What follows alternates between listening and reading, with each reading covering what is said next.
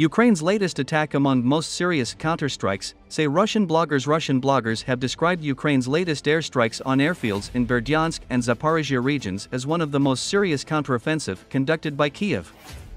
Famous Russian Telegram channel fighter bomber, reportedly linked to Russian Air Force Captain Ilya Tumanov, warned that such attacks will take place as the war continues, stressing that Russia must be prepared for this. This is one of the most serious strikes of all time in the northern military district. If not the most serious, the Telegram channel reported on Tuesday. Ukraine says it destroyed nine Russian helicopters in an airstrike on two cities in the Russian occupied Berdyansk and Luhansk cities in the east of the country. Dozens of Russian troops were killed or injured in the attack. Ukrainian President Volodymyr Zelensky thanked the Ukrainian troops for the successful attacks and also hinted at the effective Western weapons that facilitated such attacks thanks to those who powerfully destroy the logistics and bases of the invaders on our land. There are results.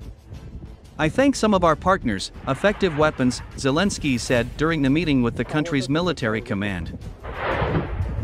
Так, вертолет. У четверки они туда смотрят. Пизда. В натуре?